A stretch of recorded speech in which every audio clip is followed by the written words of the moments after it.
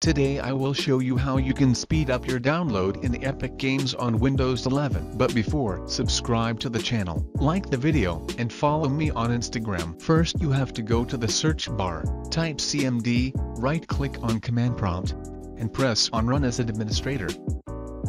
This page will pop up. Here we have to paste three commands. All these commands you will find in the description. Go to CMD commands, copy the first command,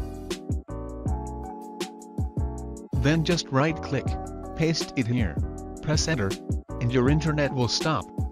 Copy the second command. Right-click, paste it here, press enter, copy the third command. Paste it here, and now your internet will come back to normal. Close this pages, go to Epic Games Launcher, right-click on it, press on Properties. Here you have to go to Compatibility, check Disable Full Screen Optimization. Then go here to change High DPI settings. Check this box. Then press OK. Press Apply. And OK. Go to the search bar, type Run. Press on it. Type here percent of data percent. Press OK. Here you have to go to AppData. Then go to Local. Go to Epic Games Launcher. Saved config. Double-click on Engine. And this page will pop up. If you have something here delete them, then copy this command from my description. Right-click, paste it here. Go to File. Press on Save. Close this page. Go to the search bar, type Device. Press on Device Manager, Go to Network Adapters.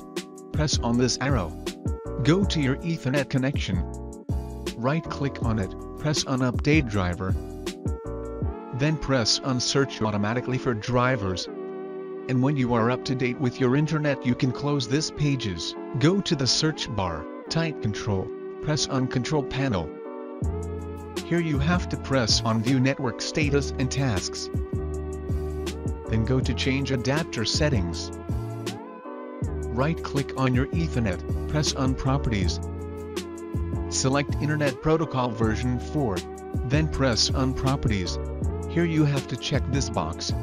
Then here check use the following DNS server addresses. And type here 1.1.1.1 and 1.0.0.1. Then press OK, close the pages.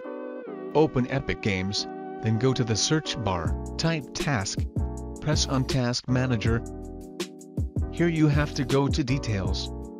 Scroll down until you see Epic Games Launcher.exe. Right-click on it, set the priority to High. Press on Change Priority. Then go to Startup. Disable all these apps you don't want to start when your PC is starting and now you should have a better speed and download. I hope you found this useful. Don't forget to subscribe. See you in the next episode. Bye.